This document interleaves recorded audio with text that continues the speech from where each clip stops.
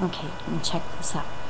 Okay, this is Troy Regas' property, property, um, the, that donut, the circle, Storey County, it's like Lockwood, Mustang, Nevada. And, um, it's this, uh, wait, sorry, sorry. Um,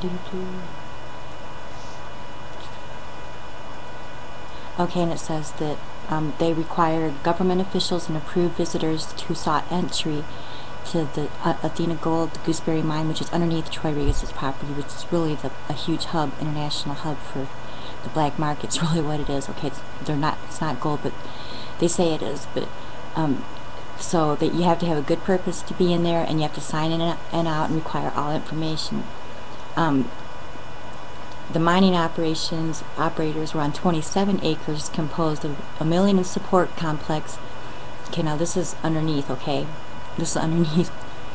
Extensive infrastructures off include office buildings, a fully operational and updated exploration and metallurgical laboratory, a maintenance garage, supply warehouses, woodworking shops, hoist buildings, head frames servicing a 1465 foot deep mine shaft to usable water a crushing plant, a grinding system capable of producing material down to minus 400 mesh mill, home for security watchmen, home steel yard with huge quantities of uninventoried materials and used equipment, electrical substation, they have their own electrical system, excellent, with excellent distribution throughout the part of the property used for these operations, which is that 560 circle that Troy's his Stargate um, in excellent ingress and egress with easements, water, fully equipped emergency room with first aid and medical care capability, extensive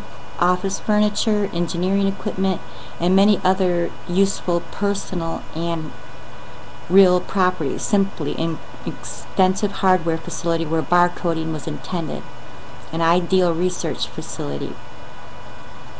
Um, they have extensive complements of tools, supplies, inventories, equipment, rolling stock that would form the propagation and servicing of numerous business projects such as a hardware outlet, repair and maintenance garage, landscaping, real estate, cement and rock products, aggregate, and many other compatible project possibilities, as well as aforementioned wind power project turbine development.